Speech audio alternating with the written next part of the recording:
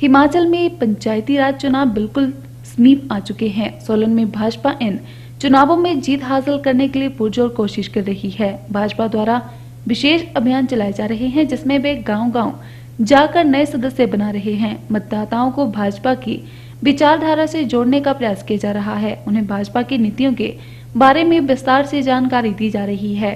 केंद्र और राज्य सरकार की नीतियों को जन जन तक पहुँचाने का प्रयास किया जा रहा है। ये जानकारी भाजपा जिला अध्यक्ष आशुतोष वैद्य ने मीडिया को दी। उन्होंने दावा किया कि इस बार भाजपा पंचायती राज चुनाव में भी रिकॉर्ड मतों से जीतेगी और कांग्रेस को एक बार फिर हार का स्वाद चखना पड़ेगा।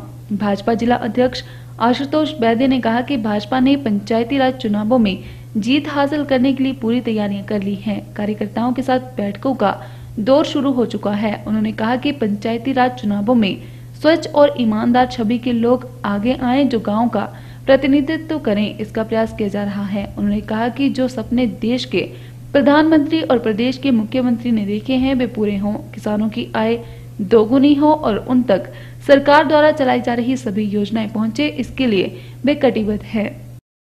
पंचायती राज संस्थानों के चुनाव को लेकर भारतीय जनता पार्टी प्रयासरत रहेगी कि सक्षम और अच्छे कार्यकर्ता, ईमानदार छवि के लोग आगे आए, पंचायती राज संस्थानों के माध्यम से आगे बढ़ें।